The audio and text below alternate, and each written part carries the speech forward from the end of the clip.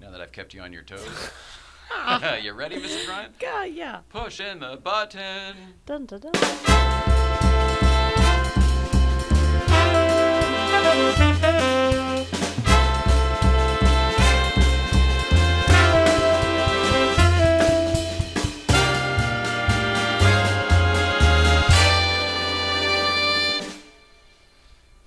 yes, indeed. Hello, hello. Hello. Welcome back, Mrs. Ryan. Hello. Yes. Get this situated here. There we Welcome go. back. Hi, guys. What's happening? You look Crazy. lovely. Thank you so much. You I just noticed your McQueen shirt, your Hunziker McQueen shirt. Yes, I've been covered up in a sweatshirt until now. Oh, that's it. It is, yeah. Well, that's Yeah. nice. All right, it's cold in the studio, and you're going with it. Going with it. All right, good for you. Uh, welcome back, everybody. Today is Wednesday, April 24th, 2019. My name is Jay Ryan. This is Nicole Ryan. We are the Ryans, and this is It's Tonight's show. Tonight's guest is a fella named Bob Zany. He's a comedian. I knew that. He's been a broadcaster. I didn't know that. We're going to find out all sorts of other things about Also him. radio.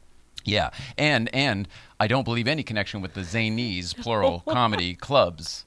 I don't believe, so, but we'll probably talk about that too. Uh, anyway, Bob Zany is here today, and he'll be in here in just a few minutes. Mrs. Ryan, Yes. we know you look good. How you feeling? Uh, Or anything else? How you doing today? I'm fine. I'm. You look. I mean, you really look fabulous to me. I think your whole outfit is coordinated color-wise and everything. You just look adorable. I. I yeah, my brain's on today. Uh, it Yeah. really is what it comes down to. Well, I that have makes- MS. I'll just say it again. Yeah. For first first-time watchers, Mrs. Ryan has So multiple everyone knows I'm not just crazy. That's why we check in so often because it's a uh, good days and bad days kind of thing. yeah. This is a better day. It's a, I've acclimated a little bit. Good for you. How was your morning? Productive. Uh, that always helps me keep my head on, Mhm. staying active, get the synapses firing, Yes.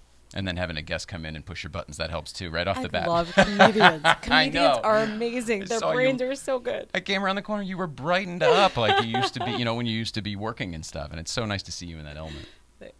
Uh, anyway, I have not much to do today other than we have to wrap up the uh, East Coast feed stuff. Remember that from yesterday? Oh yeah, yeah, yeah. Yeah. Suspense. yeah, right, exactly. Uh, so let's check in real quick. Go back to, I think we're in Danbury. I don't know where we are, but we're back on the East Coast, checking in with Danbury Chive and the East Coast feed. Roll it out. Me and Steve broke up. All right, so it's a real dog. Brooke is seeing a real dog. We're at the movie theater and there's a real dog right in the middle of the thing. I don't know why. But anyway, the funny part is, the funny part is that we just went to go see a scary movie, La Llorona. And it was really good, so Brooke just got scared shitless and uh, does it. Well, there is a dog. Look at that. What happens at the movie theater? I don't even know what's going on anymore. Uh, anyway, so Brooke is not a fan of scary movies. What happened? Like, it- she's just upset. Don't mind her. She's upset. Love you guys. Happy Easter.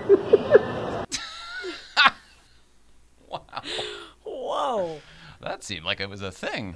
There was a fell thing. asleep or there was some sort of incident there. I couldn't even understand what Something she was about. Skittles, but I don't know if oh, that's I didn't hear Skittles. That's maybe I heard it wrong too.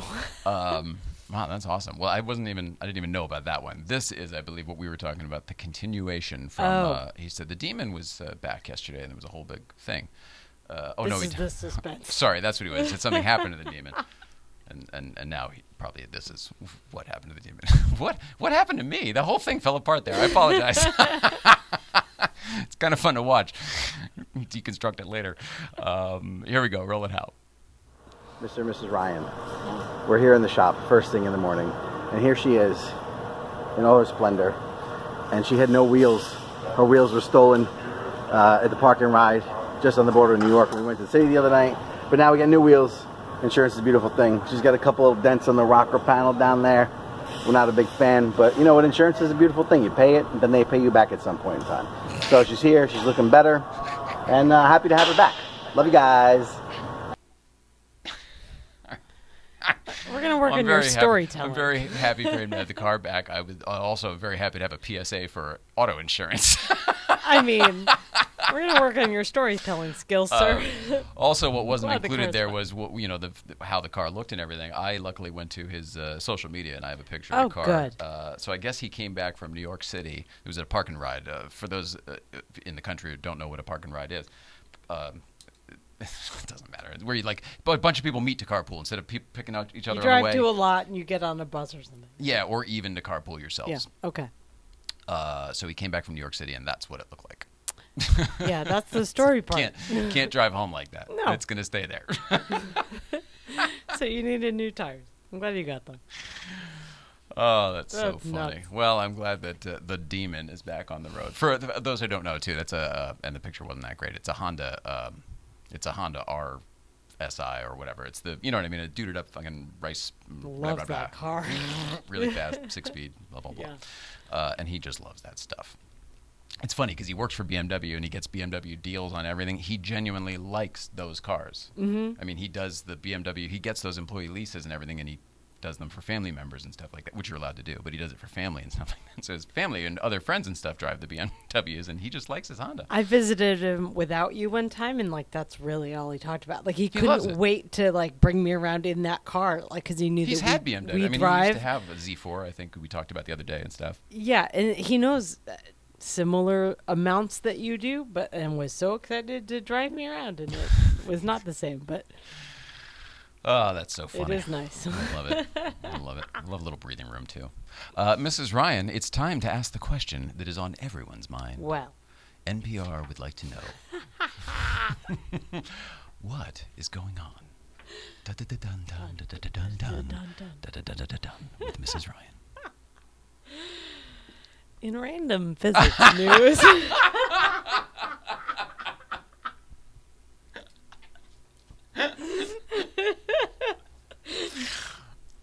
In random physics news, scientists were able to make bubbles out of sand What?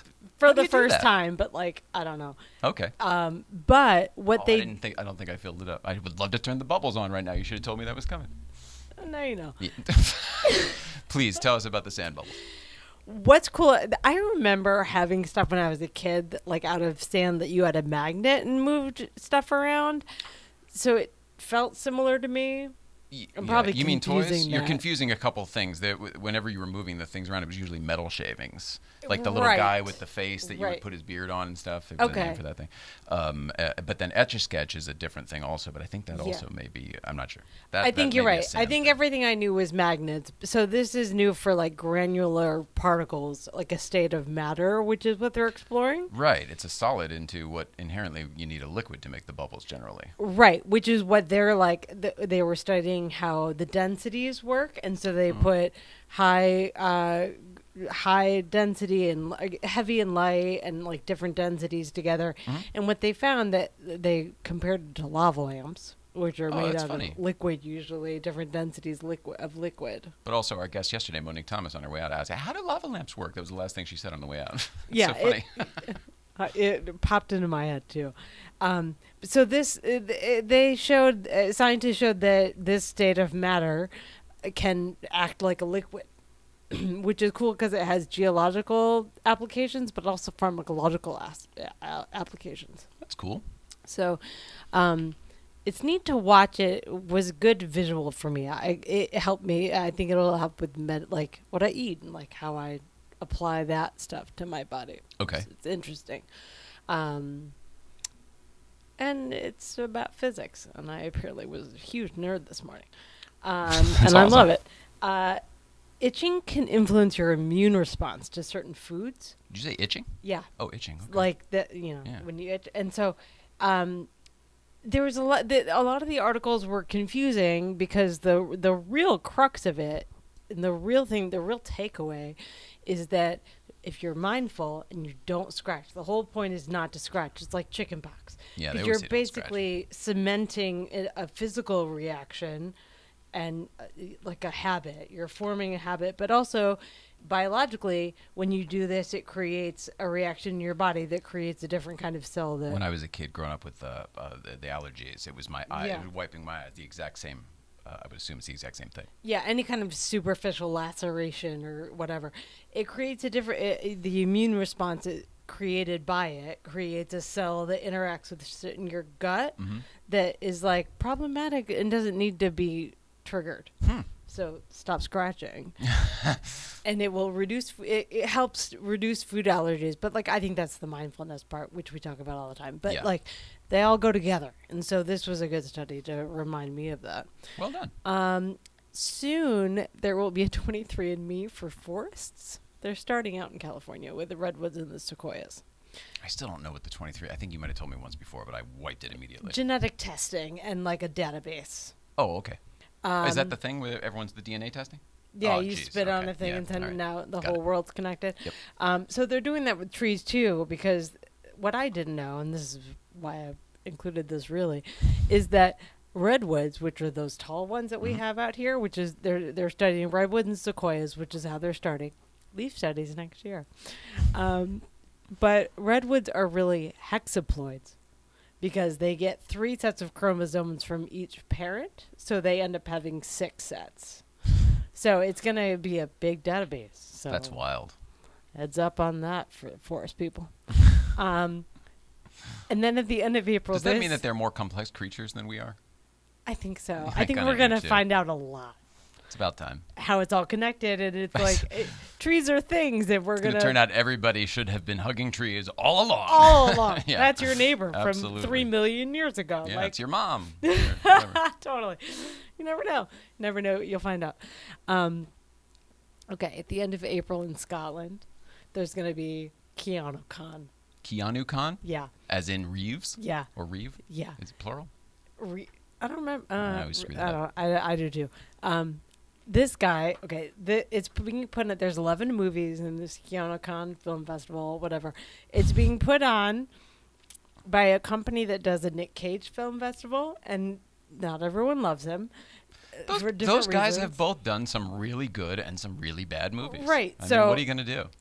Yeah, this is a it's a personality. Keanu's known as like a humanitarian and a giver Mm. and a thing, and he used to play the bass, which I kind of forgot. He used to have a band, De- Dead Dog or Yeah, something. yeah, yeah. Ghost Dog. Something. I can't remember what it was. That's not. Neither one of those are right. Something Dog. Uh, go, Dog Star. Yeah, Dog Star. yeah, yeah, yeah. um, whatever. We we see him up. We- We see him places sometimes, and um, he's a he is a great. I put him up there with a Jim Carrey. They're just they're functioning at a different level, and whatever Yeah. uh, whatever you think, uh, I assure you those are characters. The actual guy, while he may seem and look, uh, he is a brilliant thinker, and Yeah. he knows so much more than we do. Yeah. He's half animal. He's half tree. You know, I what I mean, he think so, gets he gets stuff. I think nice so guy, too. So I love that they're celebrating his humanitarianism in Scotland with a film festival that unfortunately does not include Point Break, but it does have The Matrix and um, the They're Bill probably saving that for the. Patrick Swayze one when that comes Oh. out in a few years. Yeah. All right. Well, heads Right up up. there with Roadhouse. Scotland, if you're there, I want to go. But um, that's what's going on. Oh my goodness, been that's been such a good morning. That's been what's going on, Mrs. Ryan.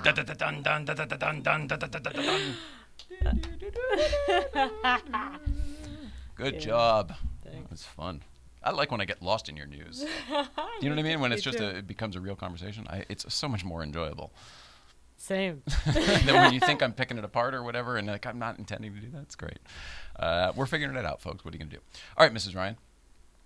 It's time to take a break. We'll get our guest in here. Okay. Bob Zany's here. We're going to find out all about him uh, in a few more minutes, right after this break. More to come. He'll be in that chair right after this. Soul. Soul. I'll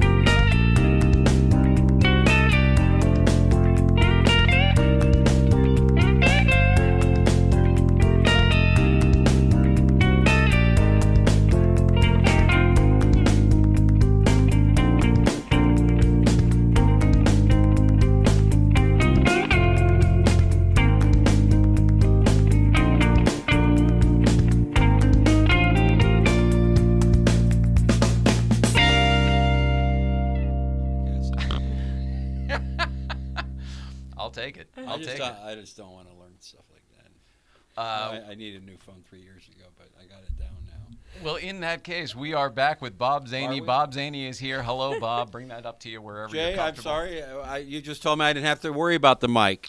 I said. now the mic's fine. Is this good, Nicole? Everything okay over there? You know what I like most about this show? What's that? It would- earlier, I don't know if it was before the battery mix-up, but you said Bob Zany is in the house, and literally, I'm in your In the house. house, I like that. This is not a lie. No. So this this program does not lie. That's true. Thank you. And we're also not uh, trying to rip on the Arsenio Hall thing. We really do have a house here that people are in. I mean, we've, we've Well, you could rip on Arsenio. That's fine. I did. You know, I did his very first Late Show when he took over the Late Show From and Joan, Joan Rivers, Rivers. was fired. You mean the first the episode? v- first episode. I remember all of this. This is my life. So I was the comic on there with the remember Christopher the puppet guy. No, I just No, mean you're talking about the whole real takeover. show. I'm talking No, I mean his when he took over Joan Rivers' Right. late show after the whole kerfuffle. They were. It was really funny because the- I, I was in my green room and they gave me this this towel, this beautiful robe, and I said, "Can I keep this?" I don't care. Take it. They didn't know, think they were going to be around, so they Wow. so we started clearing out the dressing room. Specifically, I remember the Howard Stern episode when they switched chairs and the whole bit, and the whole thing just went nuts. But it was a weird. It, it, he was good enough at that job that they gave him one, right? Yeah, and uh, he he told a great story about that because uh, I actually did another episode with him too. I did four altogether on that, and he said that they didn't think it was going to take off, so he only signed like a 13 week contract. Oh wow. So what happened was it became so popular. He said they would call him up and they'd say five million dollars, and he said I had to hang up the phone. and they got to like twenty, and he still had to hang up because he ended up making thirty. Holy Wow. smokes! Can you imagine be that part? You know. No. And again, before that, you know, sure he did the. That show coming- was syndicated, right? It was so. syndicated. Yeah, Yeah. that was Paramount. Different money. world back then. Different world. I don't think people really even realize what it used to be like. Nope. I did a pilot. excuse me. I did a pilot with uh, Casey Kasem called "Rocket to the Stars," and it was an offshoot of Star Search. And it Dick Clark Productions, uh, Telepictures, all these people, right? And everybody thought this thing was going to take off. And a week before they're going to fly me to NATPE, we're going to sell this show. Get a call, can't sell the show. And I worked with Before the convention, before the convention, so I ended Okay. up not going. And then uh, we don't want to sell the show. I did the uh, the Jerry Lewis Telethon for about 17 years, and I co-hosted with Casey a few times, and we'd always talk about that. He said, "Man, I thought that was going to take off too. I thought that was the one." Isn't that weird? Yeah. Did you find I'm- out why? Huh? That's so random. Did you find out why? Oh no, it's just the business. You know, they just couldn't Okay. find It's, it. it's still in turnaround. I've you know, it's funny. I've, uh, this is not an exaggeration. I think I've done 28 TV pilots, and one of them that actually got on the air was Candid Camera with Dom DeLuise as the host. So I do this non-airable pilot, and you guys know what that means. That means you can't show it on TV. Yeah. They just paid me a grand. I did it, whatever. So I had to go in an audition when the show was actually picked up. What were you doing though? Because Candid Camera was typically, I mean, Right, the, the I was- hidden camera show was the yeah, first hidden. I was an show. actor basically, and I was. At Oh, in a scene, In in, a a, scene, setup. For, right. I got gotcha. Okay. It was uh, people would put stuff in the microwave, and I would be standing in front of it, and they switched it out without them knowing it, and then would just see their reactions, right? So that's that's funny. This isn't. I- this isn't. It I didn't put macaroni and cheese in here. It's, it's yeah, they'd come out. They would be just an egg. oh, really weird. That's Yeah, they- So what happened was I go in audition, and and I don't get the show. They said you're not right for the show. I said, let me get this straight. I, I did the pilot that got you to the job because Right. I didn't see you around, and I'm not right for. I said, okay, fine. So a few months goes by. I get a friend. I get a call from a friend. He's on the road in Dallas. He says, I just saw your candid camera episode. I said, what? It's a non-airable pilot. They're not allowed to show that. So they took my scene, put in the real show, and then I had to call AFTRA, and they got me paid. And then Absolutely. I got a few checks, and the last check I got from them was for the best of Candid Camera. And every friend of mine, But you weren't good enough for the show. I wasn't good enough for the show. but even gets better because what happened was all my friends who were comedians were going into audition, and they said they would show your scene to show how it's done. So I must have pissed someone off. I don't know. Well, you could have been better But- than better than Dom DeLuise or whoever. Well, and Dom was Yeah, that's a good point. the And I only love great, Dom DeLuise. I know. The best thing about Dom DeLuise was how he introduced me, and actor Bob Zany. Like I'm just a comic. you know, I've acted, I've uh, done some films, I played Matt Damon's attorney, but I'm still a comic. You know, I, I can get by. oh, the informant, right? The Informant, that was a great, great experience. You know, Matt Damon, Let's great let's guy. talk about that. Yeah. Matt Damon, great It's a guy. great movie. It's a great movie. A lot of great comedians are in that. Mm-hmm. And in fact, one of my scenes is with uh, Tommy Smothers, and uh, Oh gosh, now Clancy Brown, who's the actor, Mm-hmm. great, great guy. He played the people probably know him from Lost. I think maybe, Lost and also Shawshank Redemption. Oh, He played one Shawshank, the of course, one of the guards with the We- you know, it's like kind of this show. You sit around a lot, wait, and uh, to go on, so you get to talk to these ten people. minutes. We gave Yeah. him ten minutes. But my scenes were with Matt when we were in his office, and Steven Soderbergh's the director, so they're out there in the back, you know, filming us. Where we're, we're alone in the office, and Matt says to me, "You know, I like it when a director directs me." And I go, Matt, I don't know you. I, are you being sarcastic right now? He said, No, I, it's their picture. Just tell me what you need. I'll Tell do it so I do, go yeah. home. and I get that, you know.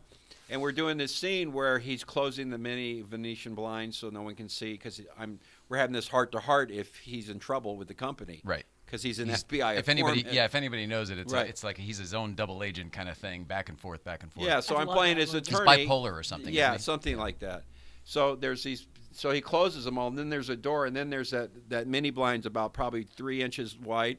I said, Matt, wouldn't that be funny if you closed that one too? Because it didn't matter. You really couldn't see in. And But he it shows opens, his- huh? It shows the characters. It shows the character, right? So he opens the door and yells to Steven and says, Hey, Bob had a great idea. Of course, I'm sitting there going, Is he throwing me under the bus? That's right what I would think too now. You know? You Just never do know. it. Don't involve the director. Right. But but it, it showed what a great guy he was. He wasn't like, you know, this prima donna. He's just like, that's how I am. Let's just get this done, Yeah. you know? Yeah. I'm doing this. We're all on uh, the same team We're, here. It's the same team. I'm doing a sitcom right now in uh, Carson City, Nevada called Casino Boss. And, uh, you know, there's like five ensemble actors, and three of them are comedians that really. I've, I've been down this road, you know, and I want to get the scenes done. And I can be funny, and I, I'm the one who always gets in trouble. So I'm this last take, it's like, come on. Just I, the guy had a bracelet on, the comic, and he's on the table, and I knew it was going to make noise where we're going to have to do it oh. over and over. And I pointed out the director's standing there, the producer's right. Yeah. Should probably take. And they said, "Hey, good call, Bob." and it's just like you know, the Dick Joke comic pointed it out. You know what I mean? But it's it's about Who's more observant than the Dick Joke comic? well, the I'm, I'm being serious. It and, is. You, and you have an understand. Comedians in general have an underst- fundamental understanding of how things work because you have to deconstruct everything for a living. Well, I think what happens is as you get older too, as you do this, you you mature a little bit. It's like my dog; he's a mature puppy now, Frankie. okay. Frankie, do you have pets here? I saw some food bowls, and that's is that for you, there's a- Jay? I am Jay. I am Jay. No, is that for you, Jay? Oh, That's it's for me. bowls Yeah, on the that's right. floor. That's Uh, nice. You've really organized them well. we have a, an 18 year old kitty in the other room. Ah, we just took our kitty cat in. She's uh, about 16, so. And they want to run those. Tough tests. at that age. Yeah, it that's why she's not going. And then- She's living and then- happily ever after. Yeah, they just uh, nah, we don't need that test. Yeah. How much? Where do you need to go this It- uh, right weekend? now, it's about uh, ha- Comfort. Yeah. 18's a long time. I always Yeah. say this. I, we're dog people too. All rescues, by the way, folks listening, rescues. You rescue those animals, but um, don't get two different. Fully agreed. Yeah, don't get two different pets at the same time. Made a horrible mistake. Got a greyhound dog and a rabbit. Oh, new pets at the same time. Oh, jeez. have not seen Walked either right one. into I've it. ever seen. Walked right I, I into it. will sneak some jokes in, Jay. I, I almost- apologize. almost And stepped I- on it to and explain actually, it. Can I say something? That's actually authentic for me. I see. Yeah, yeah, yeah, yeah. Uh, I read the bio. I read the, the, the list. No, but I'm just saying about pets. If I have a question for God, and this is my question for God, why do parrots live 100 years and dogs, Hmm. if you're lucky, 13 to 15? And I know what God's going to say because I like dogs. I want them up here. I don't want those parrots. you can keep them. You can keep the parrots.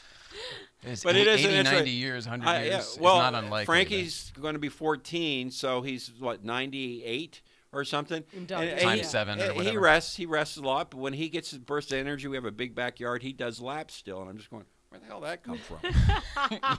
you know, At that But age. I don't. eh, eh, It really makes you just really look at life when you lose pets, though. Well, Yeah. Not geez, I don't want to talk about that. I'm Well, not. I'm not ready. not? I'm not ready. I mean, I am because I'm fundamentally. I, I will be ready. How old are you? About 38. 42, for almost 42, 41. Which- Do you have a note over here you're looking at? No, I go to her because this came up just yesterday, time. and I said 42, and I It goes by I, fast, doesn't it? I couldn't remember if 42 or 41 was right. I knew we had just done this the other day. But it, it's it's you just look at things differently. You have a different perspective as Yeah. you get a little older, and you you know it was. I, I did a joke years ago on the Zany Report about uh, Al Lewis, who played uh, Grandpa Munster. Mm-hmm. Great actor, been around a long time, and he was like probably eight. He's been gone a long time. Too. Yeah, he's been gone a long time. But it gives you an idea when the joke was. But he was like ninety. He's, he was like 92 or 3, and he was telling people Your he. dead, literally. Yeah. He was 92 or 93, and he's telling people that he was in the autumn of his years. I said, no, Oh, boy. it's about New Year's Eve for you. Al." Yeah. Yeah. But I love that analogy of when they try to pinpoint it. As in, I'm still hireable, is what Yeah. that translates to. Well, you oh, are actually. You know, it, as a, when Louie Anderson won the Emmy, I went, you know what? Just keep doing it. You don't Yeah. know. Yeah. You don't know. Yeah. So It's true. I love Louie. Do you like Louie? I like. He's an old friend. He he actually his first TV show in L.A. was because of me. There was a show called Two on the Town, and I had a company called Renter Roast. I did with two other comedians, and we hired Louie, and they came out and filmed it. And Louie was prominently, you know, shown on that uh, showcase. No kidding. way. Yeah, I did fun. his podcast. He had a podcast in uh, Vegas at the Plaza for a while. I did Yeah. that. So Oh, that's fun. he's an old friend. All right. Well, how did you get into comedy?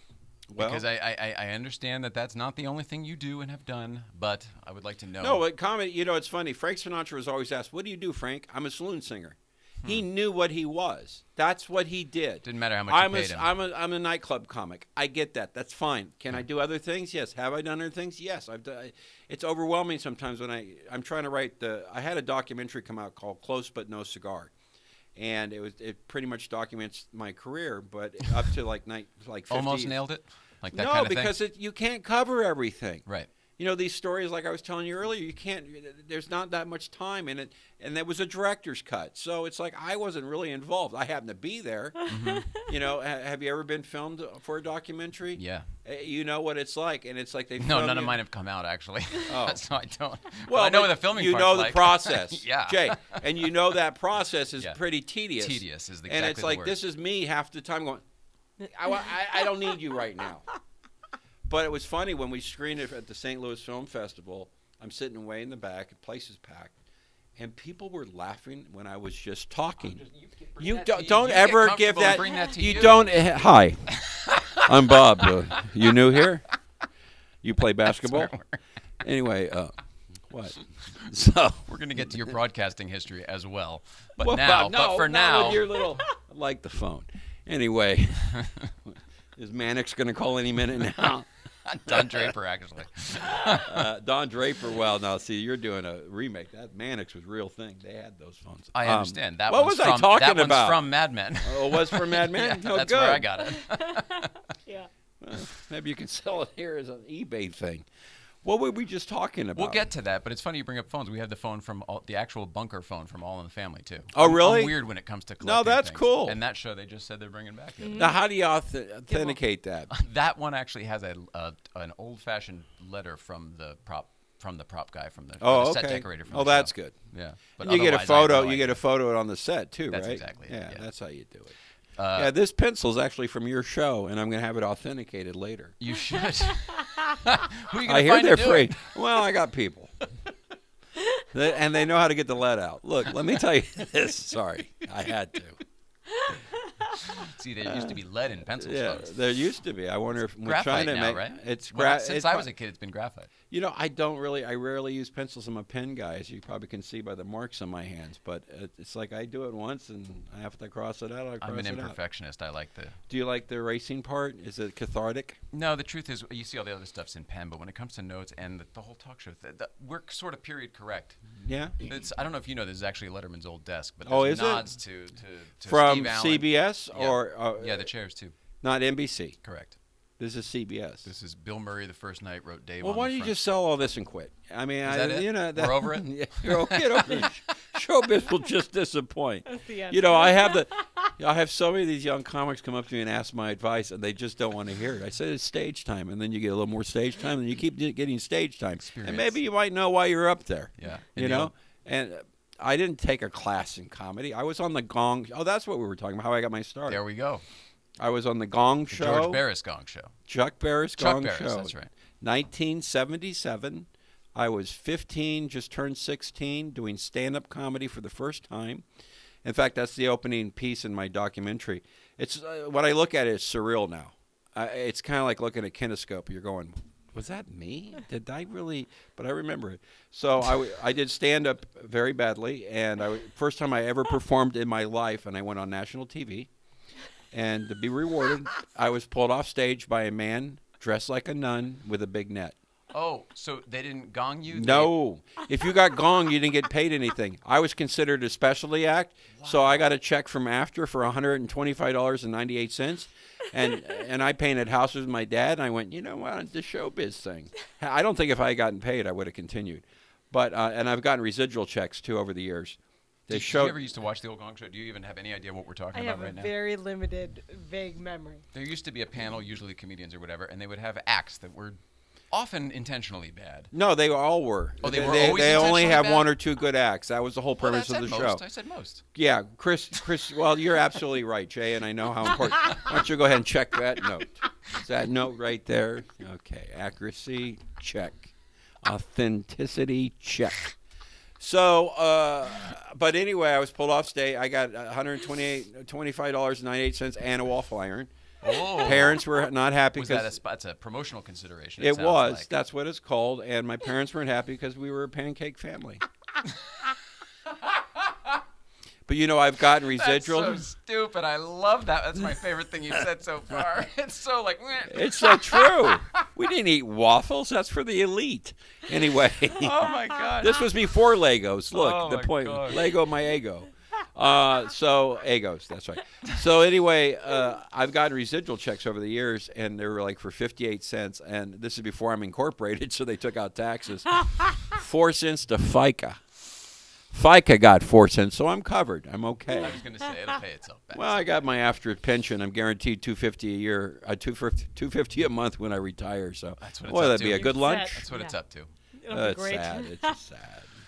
Anyway, but that was my first uh, thing, and then I started doing talent contests in West Covina, where I grew up, and But you liked it enough? Was it the audience? What was it? Wh- What did you like about it? I, I don't know. I know I was very nervous for many years. You know how people talk about, hey, you get nervous before you go on or do something. Now it's like, eh, show me where you want me to stand. This is where you live now. Yeah. It's like I said, I play Angry Birds before a show. Yeah, you know, Car- you know what what? he did before. Carson, uh, you know, they would get together, Ed McMahon, Johnny Carson, Fred de Cordova, before the Tonight Show. They for like 15 minutes talk about everything but the show. Mm-hmm. Exactly. Yeah. You don't need that in your head. Exactly. Agreed. I remember And they when wouldn't go talk to the guests ahead of time. no, there's no. You don't keep it fresh that way, and then they would get mad because Carson was quiet at commercial break. He was saving it for the air. Absolutely. Some of my best stuff, indeed, you know, doing radio is off air. You know, Yep. Yep. And it's gone. Wasted. it's gone. It's that moment is gone. Luckily, you have like eight cameras, so I know my testicles are covered. and that Uh, was your cut the idea, wasn't Nicole? Here That's the publicist. testes. Hello. I don't know. Do we keep this clean? I didn't. I didn't even ask. That's that. whatever you It- want. It's real, baby. That's authentic. It is. It's on the internet. Who cares? it's on the internet. And then ten years later, here's a great story. They Ten brought years back after the Gong Show. after the Gong Show, uh, 1988, 87, 88. They brought back the Gong Show, uh, the real Don Bleu, and I was a celebrity judge. With the real Don Bleu. No, he. wa- I that think that you he was a, a DJ up in San Francisco. Oh. I think that was his name. I forget. But he was the host. He was the version? host, and they brought it back, and I did it with Bob Eubanks. And I've run into Bob a few times. You know who he is, the host of the dating Game. game. Newlywed His- game, wasn't it? Newlywed Game. You're right. I'm sorry. And the best thing about him, he mortgaged his house to bring in a little band in 1964 to play the Hollywood Bowl, and everybody said he was nuts. That band was called the Beatles. he did. How'd That it was him. out? Yeah, Wow. That he ended was up being their promoter for all their tours. Oh I never knew that. Yeah, I was watching this game show documentary, and it's funny. I was, uh, it was hosted by Alex Trebek, who I did. An, he he did to tell the truth. They brought it back with him as the host. Who was the real Bob Zany? I did it with him. He tried to do my jokes. It was so sad. Alex is a great guy. He's just not a joke teller. And he's, I had a cholesterol test, and they found bacon. That's how he said that joke of mine. so anyway, it was just I don't funny. know if he got it. No, oh he didn't not get have it. But every almost, I would say 75% of those people in the documentary I know or worked with. Wow. You know, it's funny you forget in this business. Now I can put you guys off the bucket list, but in this business, I, I was doing Dick the right to our faces. It's yeah. amazing. I, I hey, why not? I'll take it. You don't know. You're here. I'll you don't know. so anyway, I was doing the warm up for the Emmys about 10, 15 years ago, and I hadn't been around. I've been gone on the road so much, and I'm walking around backstage, and all these TV people, I know them. You know, they're going, "Hey, Bob, how you doing?" I forgot because I really kind of took a break from the Oh, TV right, right, right. And was doing the sure. road and just learning my craft and getting it down right. You know, doing that Chris Rock thing where he bombed and he realized he had to go on the road and learn his act. When did that happen? Eh, It was, I think, after Saturday Night Live. You know, you get Oh. fame can get you so far on stage, you know, and then you have to deliver the goods. You know, it's funny. People will say if you know somebody, it doesn't matter. Even if you're a child of a celebrity, if you don't have talent, it doesn't matter. Sure, it opens the door. Right. But uh, well, as how far far as is it take? It's you. up to you. It's like I always, when I book comedians, I did it for years. There was a point where I was booking 30 comics a week, and I told them, "Look, I can open the door for you. It's really up to you to keep that, you know, to get in. Mm-hmm. If you don't do the job, I can't go to bat for you because maybe you need to think, rethink this. Right. So that's how it works. What was what, at what point in Chris Rock's career were you working with him, time wise? Uh, well after Saturday Night Live. oh, that was well 80s. after uh, 02 to like 0, 08. Oh, okay. Yeah.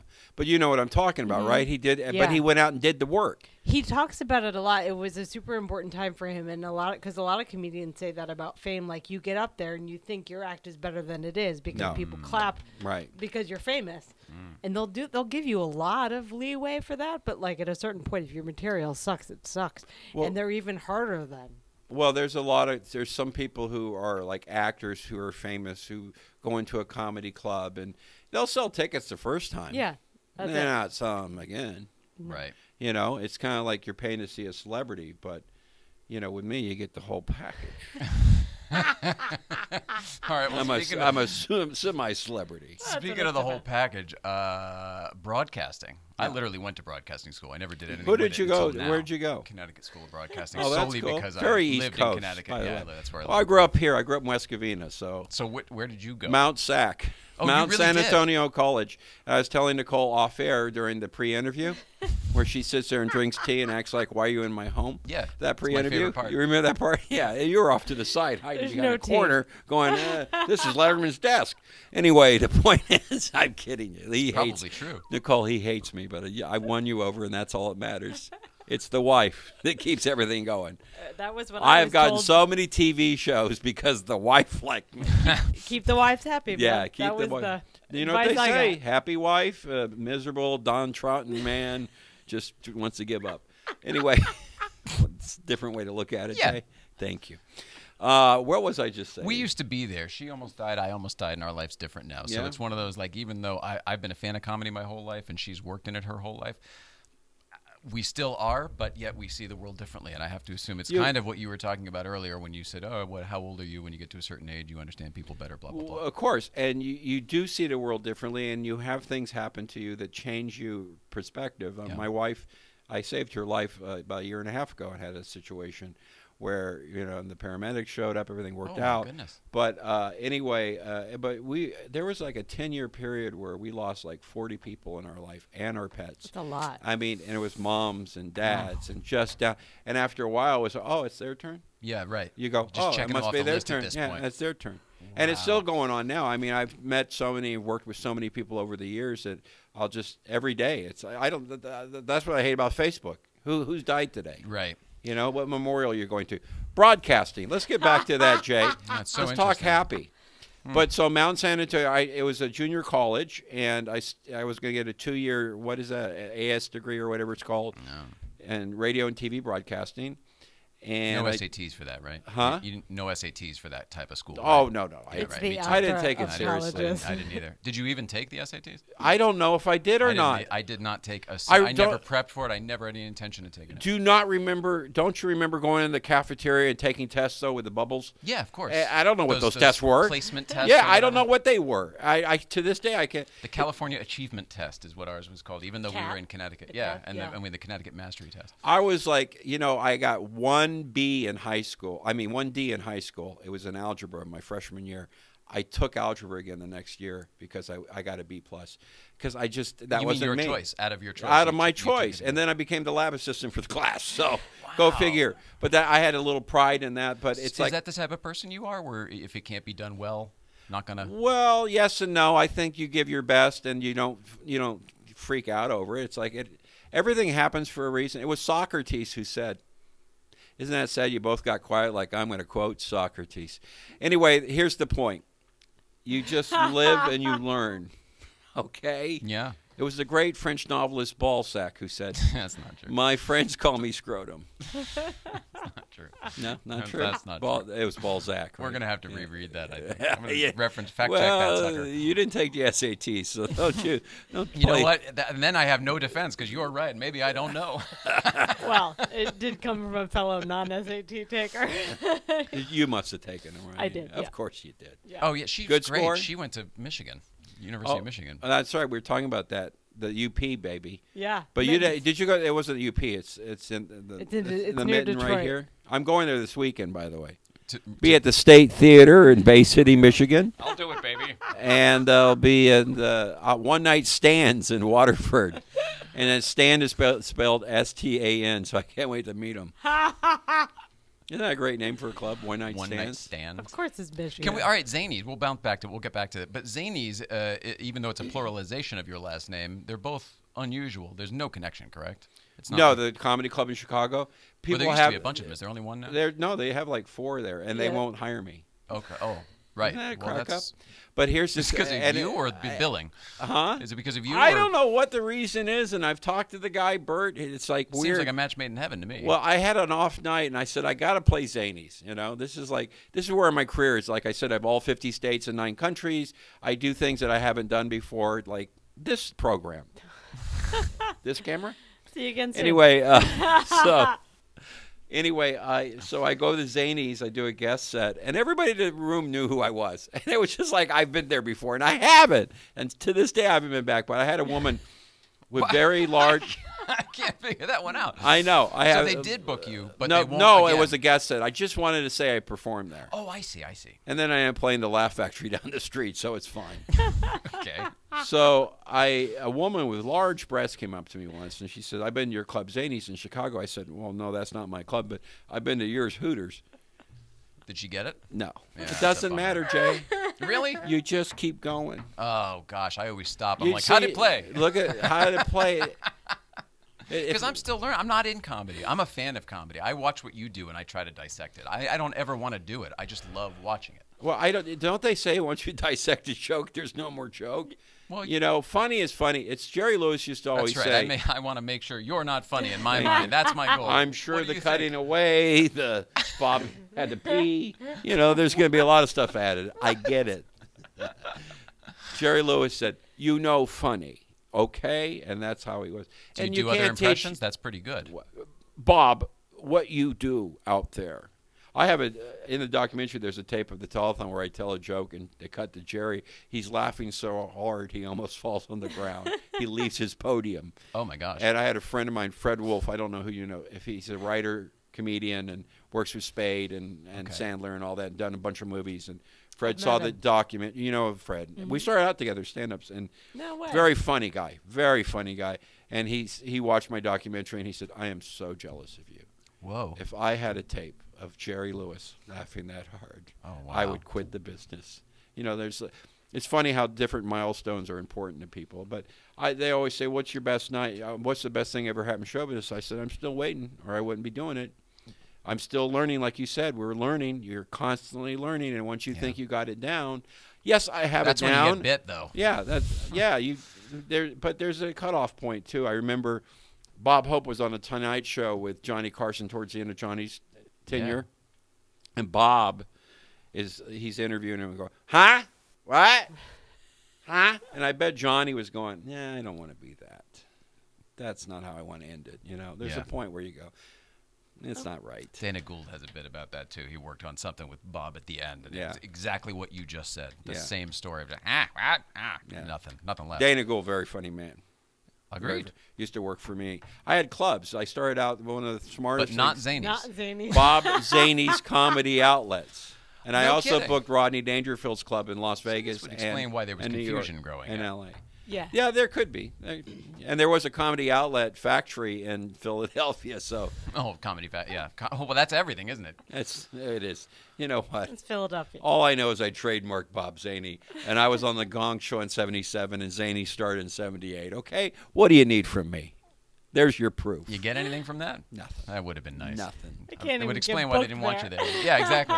Can't even play the room.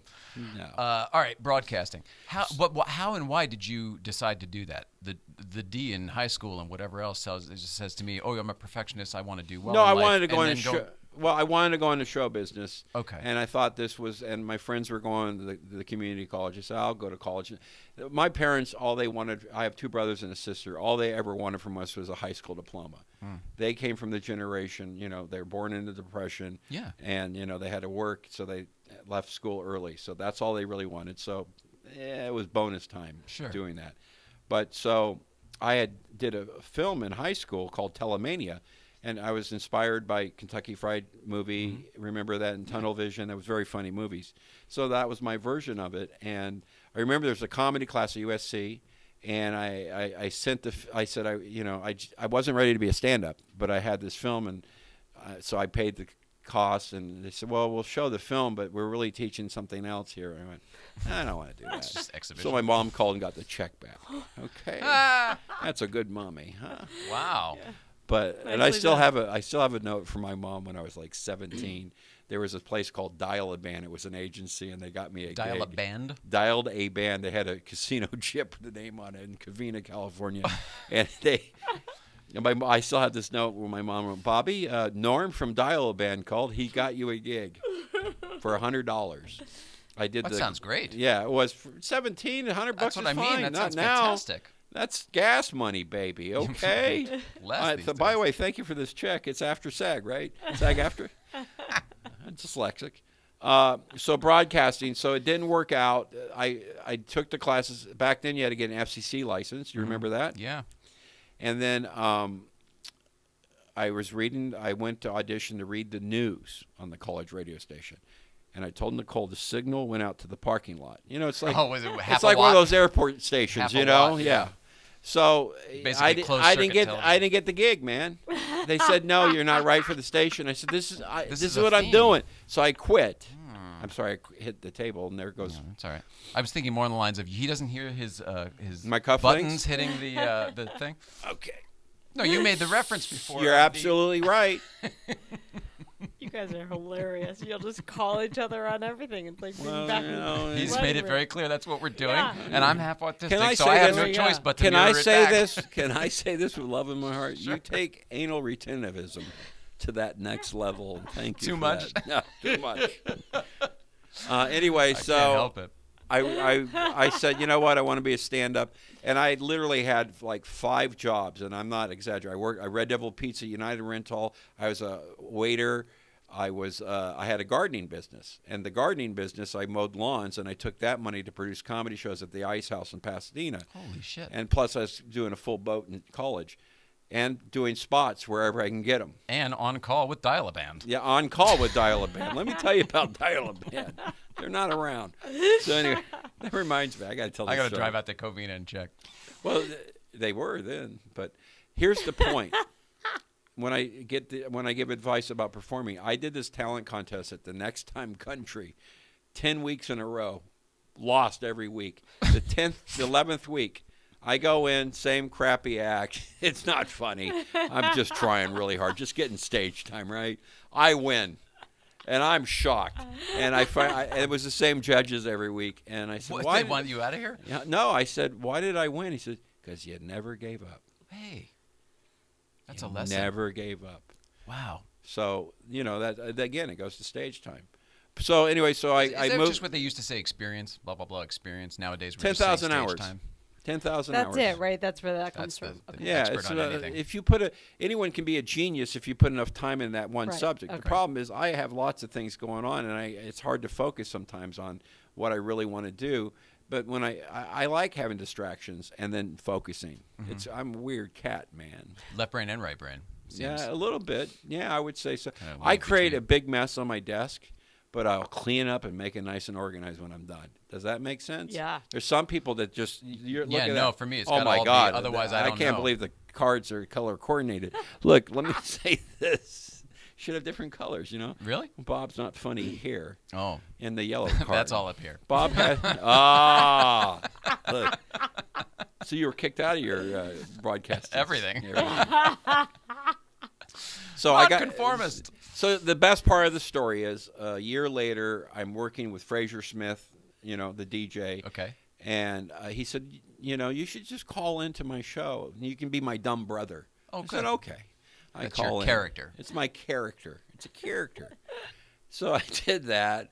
I didn't And want I- anyone to think you might actually be Frazer Smith, Smith's brother, I don't care. let alone Believe what you have to believe. Oh, I, don't- see. Oh, you I see. You don't hold. Oh, that's the anal retentive part. I see. I try to keep things No, make you sense, and you're like, who the fuck Let- cares? Let, let me tell you something. You hurt their feelings. I, I have people come up to me all the time saying, you know, I, I saw you in this, and da, da, da," and I just go, yeah, well, thank you very much. Because I when you correct them, they go, no, no, no. I had a guy who's so adamant that I opened for Frank Sinatra. I saw you open for Frank Sinatra. I said, you know, that one I would remember. How was I? I don't would've said, remember Flo and Eddie as much. I would have let that one go. Yeah. I'm like, yeah, let no, I- perpetuate that rumor. I finally, yeah, and I finally just said to the guy, you know, you're right. oh, Frank doesn't like me to talk about it. did you really? No. what? Am I going to spend an hour of my life fighting with this guy over my credits? No, that's when I thought you finally gave in. I gave. Well, maybe I did. Maybe I didn't. so I, a year later, Good point. I'm in L.A. I moved to the Valley over here in Vineland by the was the Beverly Garland Hotel. Oh, it's right at around the Aqua corner, yeah. Vista. You know what I'm Right talking? around- Yeah, around right corner around there. there. Which, by the way, is just I didn't know at the time. I lived there for a year. Brady Bunch house. Oh, about two blocks away. Not even. Yeah. Oh yeah. Didn't know it then.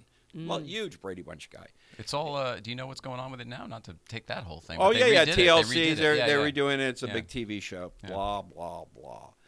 But no, but it was cool because the house does look the same, and it's funny in the opening episode where you see the house, you don't, you don't, you think it's a beautiful valley. It's the fuck, it- it's the river. The LA River It's the the, horrible river. Is the backyard, It's cement. And Which they've been saving all that water and recycling it, but, no, it goes out to the, the ocean. Disney Channel building and everything is behind Yeah. it as well now. So I get hired at KLOS Radio because I be, my call-ins become so popular Get that they, they, the, the big boss George Summers came in. Well, you know, we're going to hire you, and I got hired. And the first six weeks I did weekends. The first six six were weeks you on a different show? This is your own thing now. I had my own show, the Bob Zany Show. Uh, I started on one to five in the morning on Saturday, not Saturday going to Sunday, or actually Sunday morning, and then they gave me Saturday mornings. And the first book I had, I was number seven in the city, and that wasn't good enough, so they moved me back to overnights. And uh, but the point was, I got hired at KLOS, wow. So And that was the first actual professional broadcast. yeah, and I learned so much. I mean, it was like. I, I, I kind of lied. I didn't know how to run a board as well, like you do. You're like a pro, I, man. I've- 10,000 hours. I'll tell you, all. the best story of that was so my first night on the air, they have Steve Downes as this old time rock and roll DJ. So they have him sit behind me for my first show. He's there, he's got a beer, he's drinking a beer, and I screw up on the board. And I go fuck, and, and it was on the air. Oh. And uh, he said, You can take your license away. and then we, I went to commercial. He said, "Ah, don't worry, we'll go to the master tape and erase it." And he That's did. the answer. He saved my career. Because otherwise, people say, "Hey, I heard that." Mm, no, you didn't. No shit. But the, the beauty of that, what a cover up, man. Yeah, that but- Watergate right there. Yeah, a little Watergate thing. Sure. They the best thing about that was that because it's so late, you can learn. That's how you learn your craft. Yeah. That, but you still have a bunch of nuts calling. I had one guy call. I remember I doing my Saturday morning show, and I was doing like a character voice, and he said. Who's this? He didn't know it was me. I answered the phone. He goes, Who's this Bob Zany? He sucks. He's the worst. Why can't he be like Jim Ladd on KMET? And I went, Well, sir, you know, he's just a little different and unique in himself. defending me, right? And of course, I hang up the phone and I'm like going, wow, this sucks. I don't like this at all. and I pick up the phone, the next call, I go, yes. And he goes, this Bob Zany's the best. He's the funniest guy I've ever heard in my whole life. I love him. And I went, oh. And that's what I was getting at. It's like, yeah, Doesn't matter. it doesn't matter. It matters, but it doesn't. It's like as you get older, you care, but you don't. Oh, I do know what you mean there. There, yeah, and that's fine. It's fine. It's not a bad thing. It's interesting. You know. Yeah, it helps me. There's- it helps me though. I appreciate that. No, eh, you look. You got to care. You, you, you got to know who you are in your heart and what you are, and what other outside influences are thinking you're something. Don't let them get to it. Who cares? What get to, get on with your life. Agreed. Giddy up. Agreed. Giddy up. You do have you, time. yeah. You have time to like do that. Go on Facebook and post these rants about what? Who cares what you think? I know. you look like an idiot. I post jokes. Are you, And- you're on the, all the socials? All the socials. I'm on the venereal disease. I'm on the Oh, that's a good gonorrhea. Good grief. Instagram Zany Bob uh, on the Twitter at Bob Zany or at Bob Zany Podcast. I have a great podcast uh, called The Bob Zany Show. I co-host with my wife. Uh, over 100 episodes. Uh, Steven Wright, Carrot Top, Billy Gardell, Dave. Keckner, a lot of Jimmy Pardo, of course. course. Jimmy. Mr. Podcast. Mr. Po- he, he- he's, he's your show's kind of like his. Is he it? has you, come, but he has you sit in the studio with him. He says, "Don't say anything for ten minutes." Then he refers to you the whole time. It's kind of like an IQ test. That's yeah. I don't. Okay. Yeah, but you know, you I'm had open. me off to I'm the open side. to suggestions, but, but that we've what we've done. We've tried it all. We tried that No. too in the beginning, and it's just it's no, weird. you don't. It's- you not don't. You guys do necessary. your thing, which I think was great because you know, again, I got some more Angry Birds. I'm up to enough to get a new game. Thank goodness. Exciting. Not playing Angry. It's a win I for know. today. I know that it's passe. I don't care. I Who like cares? finding things later. Yeah. I go to I the thrift with that. store and buy stuff. I buy books, and you know the other th- great thing is I remember buying books for like twenty, thirty dollars, $30, and I never read them, Yeah. and they're on my shelf. Me too. Then I go to the thrift Yeah. store and I get it for two bucks, and I'll read it, Yeah. and it's like, I'll wait. I'll wait for a TV season to come out two years later, and I'll Oh. save money. We do that just to binge it, so Yeah. for the whole sake of it, yeah. Let me ask you that: I- i- Is it wrong to uh, binge watch like the series twenty four and then call it a day? You call Get it a day, Get it? That, yeah. or is it wrong to binge watch one day at a time? Hey, There's the joke. Okay. I, I think the other one I didn't set up no, I properly. think you need them both. Yeah, I I think do, I think one complements the other. I like the duality of it. It's a duality. Mm-hmm. I like that word. Uh, so I don't understand. So you, then, but I, you, I know you as a comedian, but it seemed like you've got a radio career going. So how did Uh, that? it's- it's- but I was always doing stand up and doing personal appearances, which the radio helped that. I see. Uh, you yeah, know, you I got a was, morning uh, gig and a night gig. Yeah, and I was like a, you know, I all of a sudden was had a name value in Los Angeles, so I I moved the headliner way too quick. Oh, You know, before and I you were ready, you mean? Oh yeah, of course. I mean, You're but a I was like forced to be ready. Yeah, because people would buy tickets to come see you. Yeah. And I remember one my first professional week at the Ice House, like 1985, I think. I'm headlining, and there's a, this kid named Dennis Miller middling for me, hmm. and him and I were talking because they were treating me like crap at the Ice House because I was a little, I was from there, that was my home club, whatever.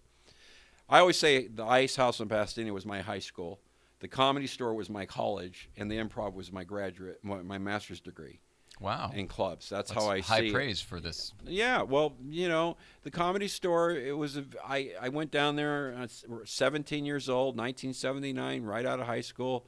At three o'clock in the afternoon, you sign up, and you wait to see if you get three minutes. I gone on that night at midnight, and I remember earlier in that night I saw Mike Binder. Do you know who Mike Binder I is? do. He's going to do the show oh, that's Oh, is coming he? out. Yeah. Yeah, he's a great guy. Great guy. And I, I, worked with him on something forever ago. I can't remember. Well, what. he's- but you know, people he's know him lot for everything. Mind of the. Married Man. Yeah. He did Idiocracy, I think. Right? Mike Judge. Oh, shoot. Well, don't don't don't judge her. no, no. My brain's Uh, but no, you worked on uh, Reign Over Me. He did that. Yeah, with yeah, Don yeah. Cheadle and Okay, Sandler. that's the one? Yeah. Okay. But he, He's a uh, great guy, though. No, great guy. And he, you know, I went up to him and I said, "Hey, I'm Bob Zany. I want to be a comedian." Blah blah blah. And he kind of like, "Oh, good luck, whatever." Yeah. And I did my set, and uh, it went very well. And he came up, to, he found me and said, "Hey, you know what? You got something. Do it more." And that was, and then I turned that into a speech in my speech class in college. Like you know, motivation, like for that how was I a got where I am. motivational thing. Yeah. Yeah. You know, I try to be as encouraging as possible, but also there's some that just uh, these expectations. I don't know what they expect. Yeah. I had a guy once come up to me. I was in Vegas performing at, at the Tropicana, and he said, "You know, I have a friend. He's funny. He, you know, he should be a comedian." I said, "Well." What should he do? I said, "Well, you get on stage. You can go to like open mics and get on stage." Oh, he doesn't need to do that. Yeah. I said, "Well, maybe you can go like to the comedy store, or the improv." Oh, he doesn't need to do that. I said, "You know, you should call Bally's. I think they're looking for a headliner."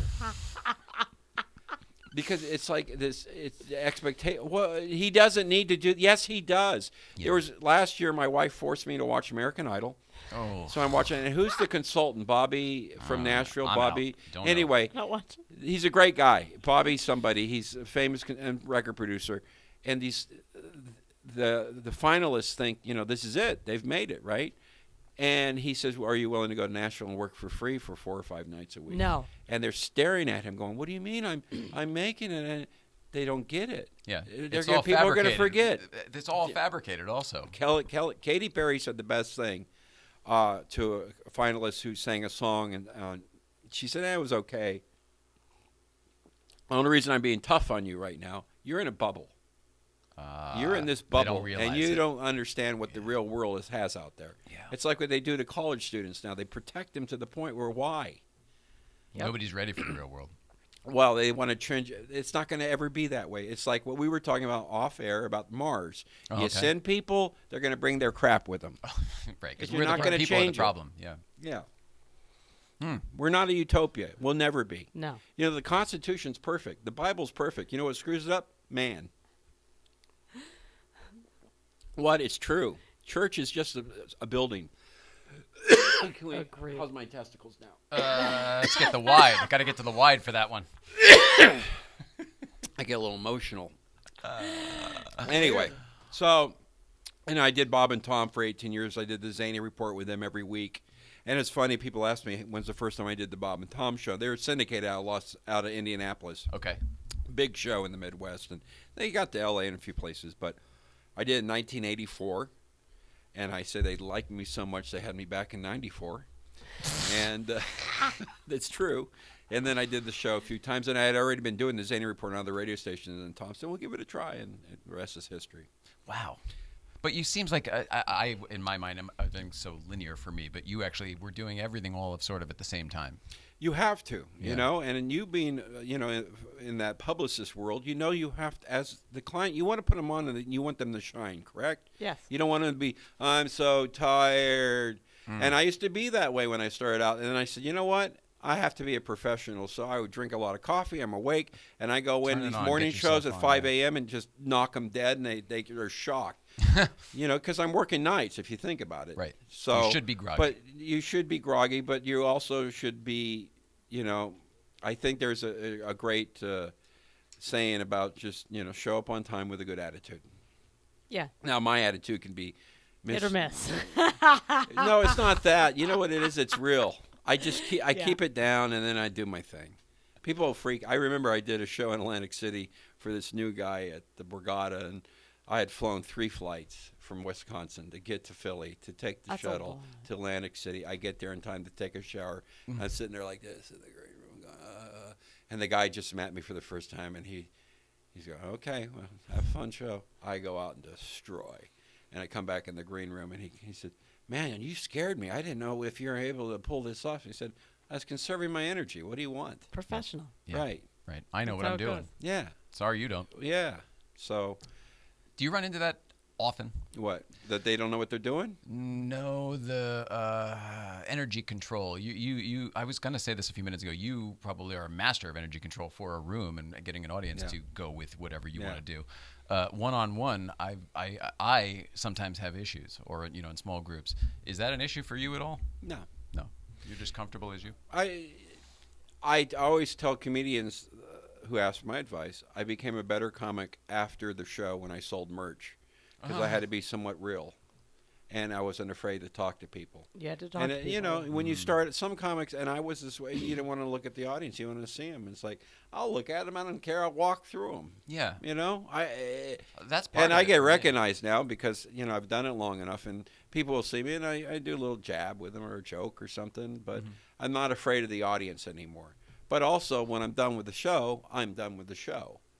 I don't need to. I don't need any more. You know, hey, tell me I was fine. No meet and greet after to fluff well, you up. and I well, I I'll do that too if that's part of the gig. But I'm just Once saying, you're it's done a- working, you're done working. you're done working. It's done. I'm not. I'm not a monkey in a cup. Okay, even they get a break.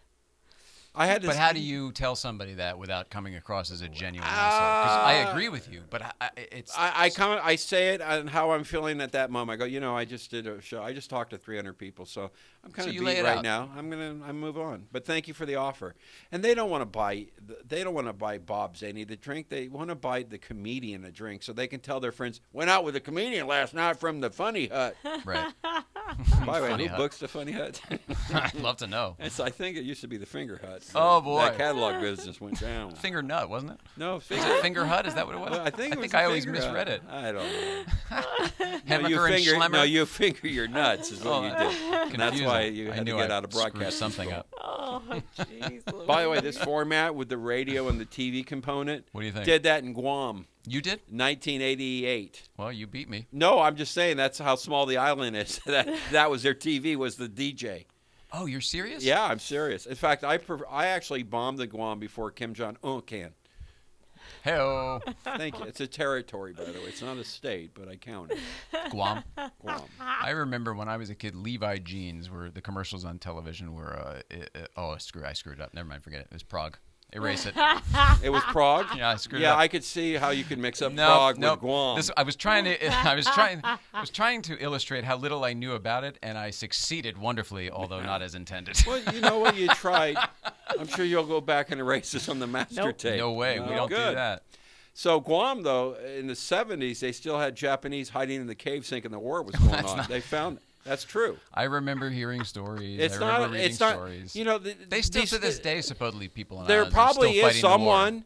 uh, How do they know? It's like you know, prisoners of war. If they, you know, just say it's one American and in North Korea, they've probably still got prisoners of war there that we don't know about Okay. from the conflict. Okay, but anyway, the point is, after a while, think about this: you're not speaking English to anyone, you forget English. Hmm. You know, it's it's practicing that movie Idiocracy. Did you see that? Uh, that Mike Yeah. Judge did. Oh, it it says it all. Mm-hmm. How we can erase a generation of information just through stupidity. It's happening. Through stupidity It is, It's and it is, I know. I know. lack Nonstop. of awareness. I there was something I I know from experience, and like some it was wiki Wikipedia was scrubbed of everything I knew, so I felt crazy for Mm. about a day. Yeah, the It's all internet's a, changing. the internet is a f- is a river. Well, you know, what, it's- I heard this and I, I, I had to look for myself. Wh- wh- President Lincoln, what party was he with? I wouldn't. I would guess Republican. Did you know? Republican, I It doesn't uh, say that on Google. It doesn't? It's, it's National Union Party or something. Oh wow, I forgot there was different stuff back then. No, he was a Republican. Oh, I see. yeah, they're calling Oh, it I see your else. point. Oh, they my don't gosh. want them to think that Yeah. maybe a Republican did something good. Oh. Now, if you can do that, You Right. switch anything. Well, that's the whole you, point. you There is switch no- everything. You're right. It So doesn't go back until they turn it all off, and they're not planning on turning it all off. No, you, that genie's out of the bottle. Yeah. Pandora's box has been opened. How many more metaphors do you need? I don't like a good. How much time do you I think we like. have I- left, by the way, Zany? I like irony. I have a lot of ironies in the fire. How much long do you think this whole civilization has left? I don't know, but I don't think it's 12 years. I don't think man's that powerful to destroy it. Uh, Look, every time you walk down the street and you see a weed coming out of a We're, crack, we're not going to destroy the Earth, but we may destroy mankind. I think, well, I think and a lot it- of life on the on the planet. they just had uh, it was interesting i was hearing uh, the earth first earth day was 1970 and all the predictions so it's 10 to 15 years it's over this is 1970 That's what it was, ten to fifteen back. then. yeah if, we, don't, do anything, if we don't do anything right? But then and yes the, the environment was screwed up back then i grew up in, i grew up in west covina we had smog alerts Yeah, that gonna say the canceled a football. yeah so that's been cleaned up and stuff I think there's a balance you can find in all of it. You can't just get rid of airplanes and cows. You can't do that Right. it, it sounds it sounds nutty, you know, but if that's what you believe in it. Well, I don't think it- there's any one answer, right? I mean, it's going to have to be not like one a million answer. little things we have to do. No, and I've been recycling ever since I was a kid. Yeah. You know, there's certain little things we can all do. Yeah, don't We- litter. It's so silly the little things you can do. To Oh, just really? Be, just be responsible. The kids yourself. aren't taught that. I live in between two schools, and all they do is throw trash along the way. We actually had my wife told me I was on the road, and she said these parents drove up waiting for their kids to get out of class, eating food out of styrofoam pack. Oh. They threw it on our lawn. That's crazy. And my wife went and said, pick that up. And she got mad at the person who threw it, got mad at my wife. This is our lawn. And so they, so what happens is they let the kids litter. The school's just covered in trash. Yeah. And uh, please tell Michelle Obama they're not eating healthy either. It's, it's not like you know, Styrofoam wheat on germ- top. That's where yeah, my red it's flag not went. wheat germ, germ wrappers. So my wife asked a, a teacher, said, "Why don't you have the kids pick up the trash like we did?" Yeah. Yeah, that would be I- the, that would be my answer. No, we don't want to single them out. Okay. but- no, no, no, no. It gets better, Jay. I'm sorry. I don't mean to dominate no, your no, show. please, please. The best part of it is the school sends out a, a, a, a, a memo to the whole neighborhood. Hey, everybody, let's clean up our school on Saturday. Asking Stop. The neighbor, they asked Yeah. the neighborhood to And do it. And then the good The Samaritans show up and do it. who are paying ten thousand dollars in Yeah. property taxes and who don't have kids paying for that school. No. So, and then you see the stuff on the outside of the school, the, the condom wrappers and the needles and the pot bottles and the booze bottles. What part of town are you in? Uh, it's called uh, Lake Balboa, which is Spanglish for Van Nuys. I was going to say I know the area. Nice. It doesn't matter where you live. I, you're right. Yeah, I, I see here. It's a really nice little block. Just go walk five feet. You're There- exactly right. That there one, is only a, a block or two over. twilight zone where these aliens are coming to conquer Earth, but he's, they start at one block and they turn the neighbors on each other because they're all scared. Mm-hmm. And then the aliens are in this ship, and then they pull back the camera, and you see all these quiet neighborhoods around it. He says, "This is how we started." And then you go to the next one, and you go to the next one. Yeah, we don't have to do anything. No, we don't. And you know, Twilight Zone was a great show because it had a moral to the story at the end, and most of the morals were like, "Hey, I, you know, this guy wished to all he wanted to do is read books, be last man on earth." That's Remember M- Burgess, Meredith? Meredith. I love that one. Yeah, and he cracks his The glasses. glasses break on the stairs. That's Done. the worst. Yeah. That one broke my heart, man. Yeah, because you look like a bookworm. Oh, Thanks. You, Um, really, you do- really, you know what you are. You just you take stuff so personally. You got But I- anger management, man. Do you think? it's worked for Charlie Sheen? I think that Look. I'm okay. I think that everyone thinks I do because of whatever I look like whenever I But you do. know, what? I, I have that same thing on my face. Because people truly, they inside, I'm read me. feeling pretty fine. You know. I think being a comedian, it's tough because I, I will joke a lot, and, and then if I stop joking, go, they well first they'll say, "Why do you joke all the time? Aren't you ever serious?" and then I'm serious and go, "What's wrong? Why yeah, aren't you well, joking? boy. You can't the minute win." I stop smiling, I'm angry. Uh, Yeah. People and I'm like, I'm not. I true. just and then I- I, I smile and they're like, you smile too big. I'm like, I can't win. no, you can't. No one can win.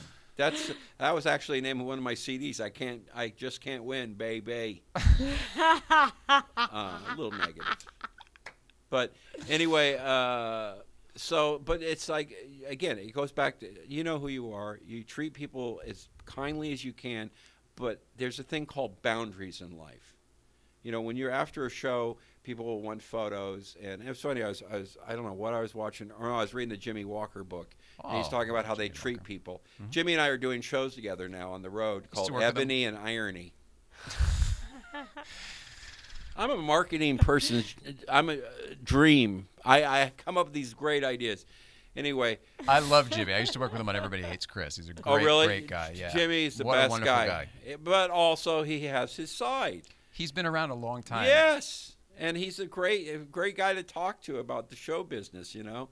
And I've known him for. It was interesting. And Ray Combs, remember Ray Combs, who hosted Family, Family, Family Feud. and Yeah. not not around anymore. No, he's not around anymore, and that that's another story in itself. But he was a Did really you know good- Ray? Is that oh why? yeah, he was a good friend. Oh, I'm mine. sorry.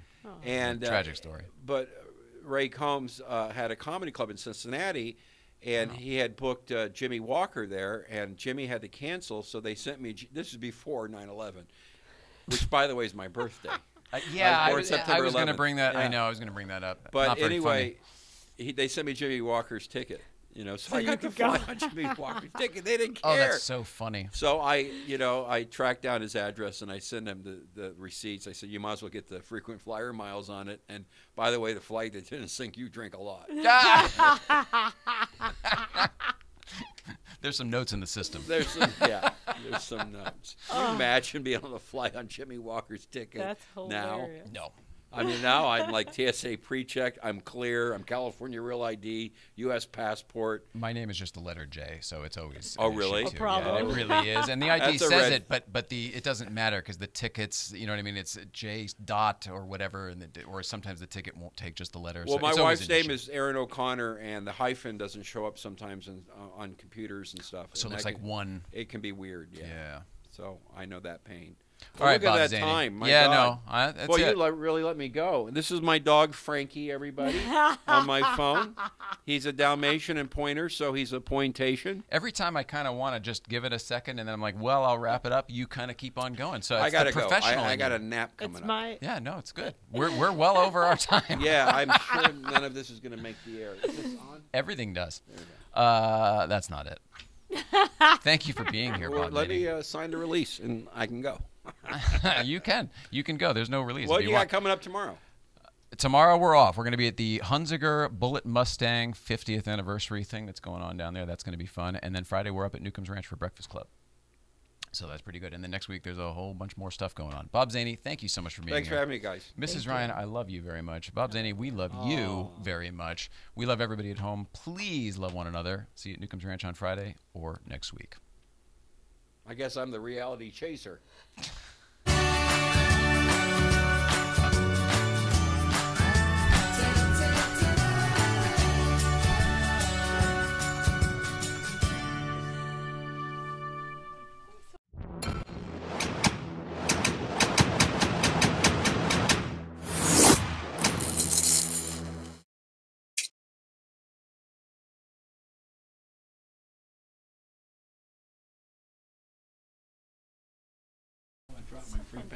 I gotta get something. I gotta get my pencil out of it.